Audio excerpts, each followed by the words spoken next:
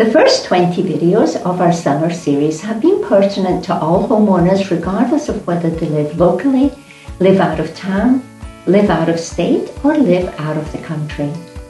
The next five videos in the seller series are geared towards the educational needs of international homeowners. They will cover selling from abroad, the Foreign Investment in Real Property Tax Act or FIRPTA, the importance of exchange rates, expatriation of funds and inter-country differences in both the selling process and terminology. In this video of our multi-video seller series, we shall look at selling a property from abroad and how in the right, knowledgeable and capable hands, selling from abroad does not need to be as daunting as it may first appear. We have mentioned dealing with rental bookings and long-term tenants in a previous video, but I wanted to mention it again in this video as it can be even more concerning for a homeowner when that owner lives abroad.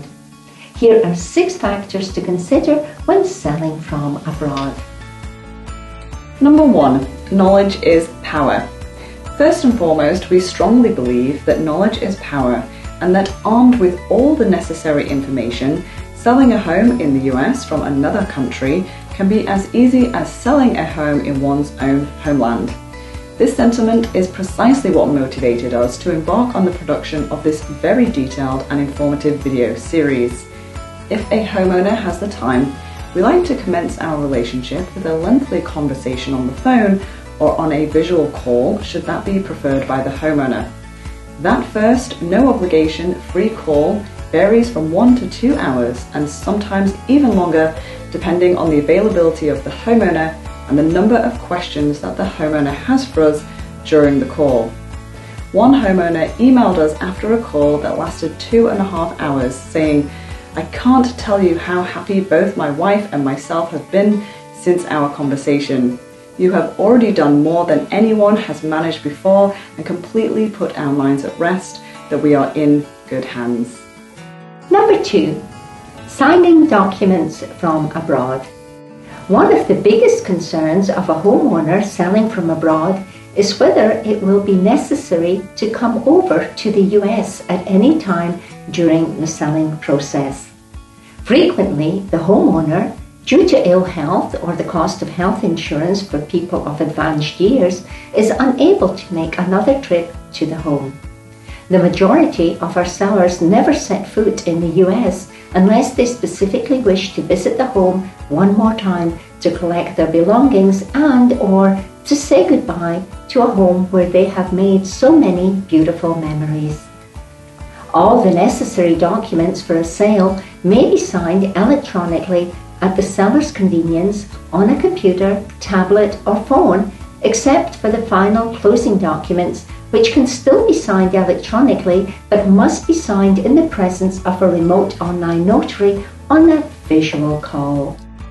Number three, preparing a home for sale from a distance. So, what if the home requires some refurbishment, minor repairs, or attention to cosmetic items, you may well ask? Will a homeowner have to come over to prepare the home for sale?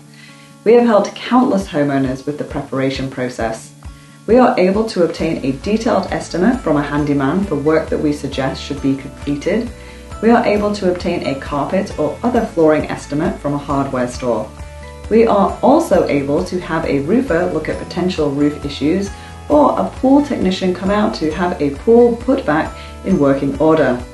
We can even have a crew provide an estimate for exterior work that will give the home more curb appeal. All of this is just part of the service we offer and is included in the listing commission. Number four, dealing with a management company. Most of our absentee sellers employ the services of a management agent to take care of the home on a daily basis, and this is even more likely to be the case for international homeowners.